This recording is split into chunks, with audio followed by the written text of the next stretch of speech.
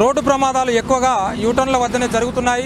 ఈ వీడియో చూసినట్లయితే Activa vehicle అతను అకస్మాత్తుగా లేన్ చేంజ్ చేయడం వలన వెనక నుండి వచ్చిన బైక్ అతను ఢీకొట్టడం జరిగింది. ఈ ప్రమాదంలో ఇద్దరిది కూడా తప్పే.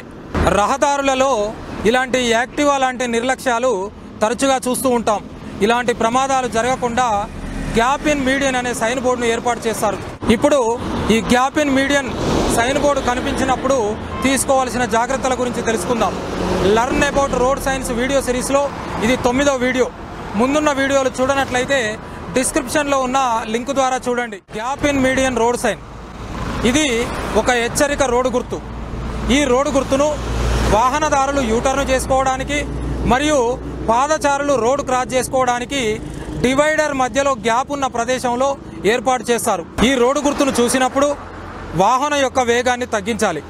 ఒకవేళ యూటర్న్ చేయదలుచుకుంటే ఇండికేటర్ తప్పనిసరిగా వాడుతూ ఫస్ట్ లైన్లో ప్రయాణం చేయాలి.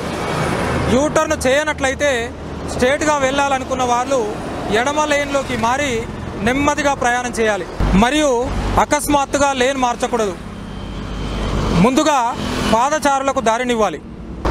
ఈ రోడ్డు గుర్తు వద్ద ఏదైనా ఒక భారీ వాహనం యూటర్న్ చేస్తున్నట్లయితే అతను పూర్తిగా యూటర్న్ కంప్లీట్ చేసుకునేంత వరకు మనం వేచి ఉండాలి. ఇలాంటి యూటర్న్ల వద్ద కనీసం వంద మీటర్ల దూరంలో ఎలాంటి పార్కింగ్ కూడా అనుమతించబడదు. మరియు పది మీటర్ల లోపల పది మీటర్ల లోపల మరియు అవతల ఎలాంటి వాహనం కూడా no stopping no standing.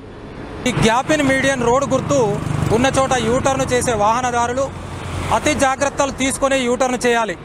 యువతలి road నుంచి ఇండికేటర్ వేస్తూ యూటర్న్ చేస్తున్న క్రమంలో అవతలి వైపు రోడ్లో ఫస్ట్ లైన్లో వచ్చే వాళ్ళు వేగంగా వచ్చే వాళ్ళు ఉంటారు.